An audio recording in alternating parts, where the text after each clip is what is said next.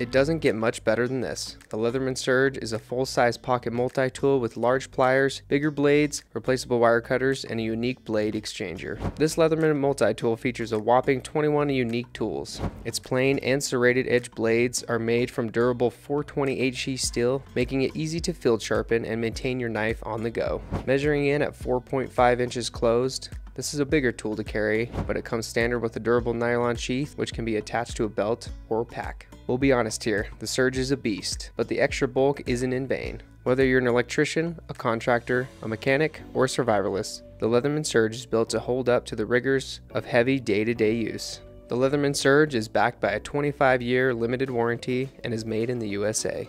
Is the Surge in your everyday carry rotation? Check out the link in the description to add it to your collection.